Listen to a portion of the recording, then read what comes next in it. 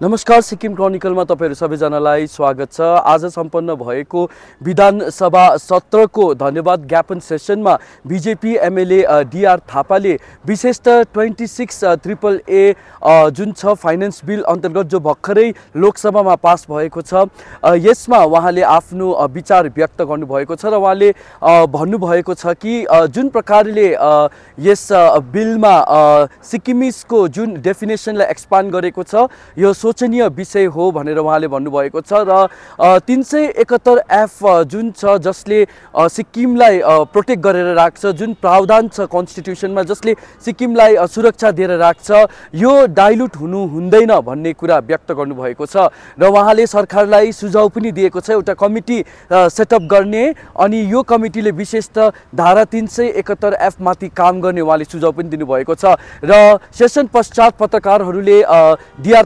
थापासँग कुराकानी गर्यो अनि उहाँ यसो भन्नुहुन्छ। आज मलाई फाइनेन्स बिलको विषयमा के उठाउनु जरुरी भयो भने एउटा रङ इन्टरप्रिटेसन भइरहेको छ कि फाइनेन्स मिनिस्टरले यो दुईवटा क्लज हालिदियो भनेर कि।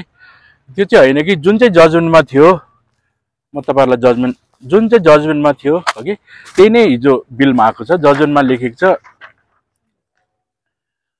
Any individuals whose name does not appear in the register of Sikkim subject, but it is established that such individuals was domiciled in Sikkim on or before 26 April 75 shall be entitled to benefit of exemption.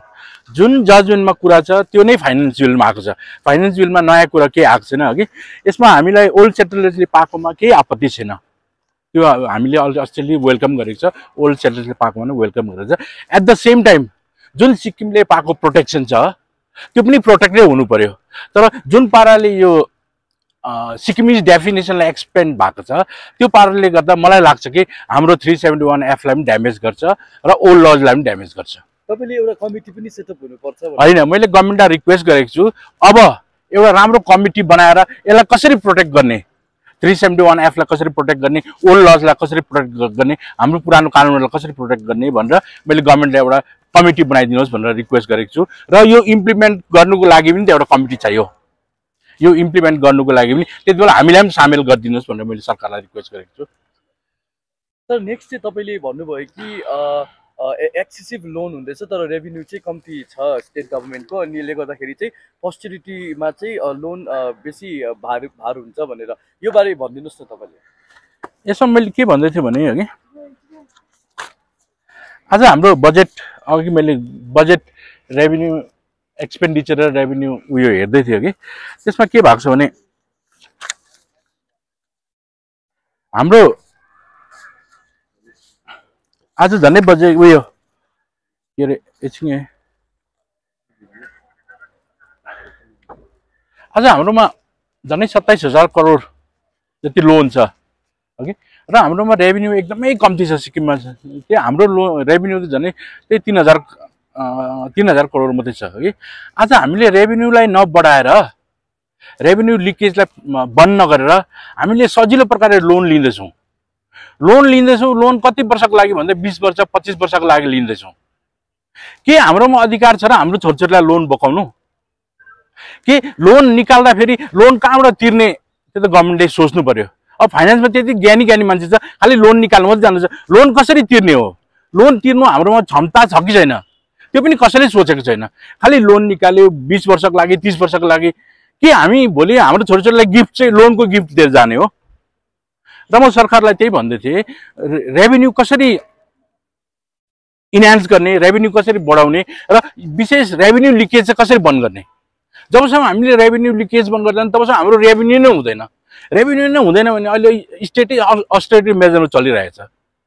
र पहिला चाहिँ हामीले revenue leakage बन्द गर्नुपर्छ र revenue कसरी बढाउने त्यसमापट्टि ध्यान दिनुपर्छ। Instead of going for heavy loan आज फेरि अफ बजेट लोन हाम्रोमा एकदमै बेसी भएको छ। अस्ति निर्मला सीतारामनजीले यो सबैमा हेर्नुहोस् off budget loan is a debt trap भनेर भनेको छ। अन्त अफ बजेट लोन आज हाम्रोमा एकदमै बेसी भएको छ।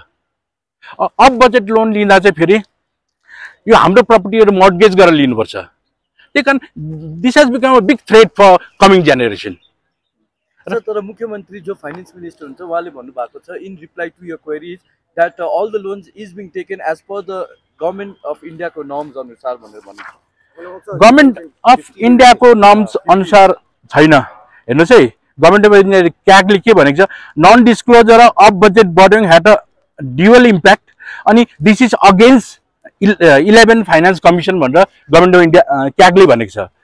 यहाँ अर्को जग्गा भनेको छ आज मेरो मुख पनि सुकिरहेछ कि हात पनि कामिरहेछ। यहाँ eight state to get nod for borrowing plans only after approval full disclosure आठवटा स्टेटले चाहिँ गभर्मेन्ट अफ इन्डियाबाट अप्रुभल लिएर मात्रै यो गरोस् यो अफ बजेट लोन लियोस् भनेर छ त्यसमा सिक्किमको नाम छ हगि अन्त आजको दिनमा हाएस्ट लोन टेकरमा